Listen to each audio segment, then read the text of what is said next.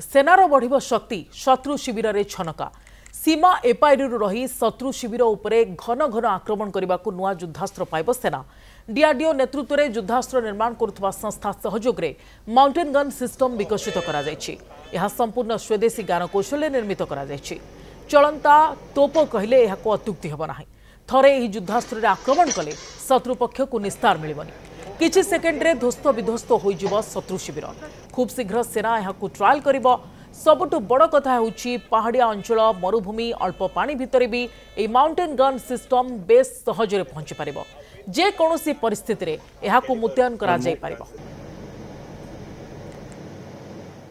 This is uh, uh, a mounted gun system. It is a, a 150 by 52 caliber gun. These guns are there uh, for quite long time, but they are on a towed. These these are on a towed gun uh, platforms. Towed gun means the gun will be separate and the primer will be separate. This will be towed and then it is deployed.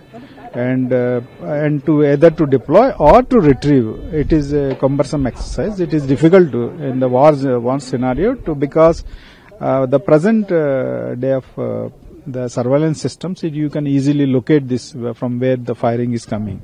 So it is it is important to shoot and scoot uh, facility should be there for the guns. So that's what we have given to this in uh, for this MGS, where you can quickly go there in 80 seconds you can deploy and 85 seconds you can retrieve the gun